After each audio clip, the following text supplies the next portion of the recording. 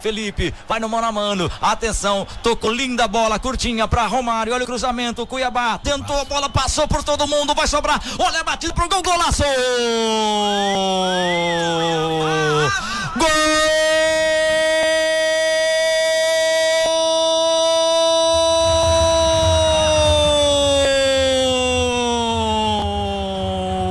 Rafael Gava, jaqueta de número 8. Tava ali bem posicionada, a bola sobrou para ele e com o pé esquerdo fuzilou a meta do goleirão Ayrton.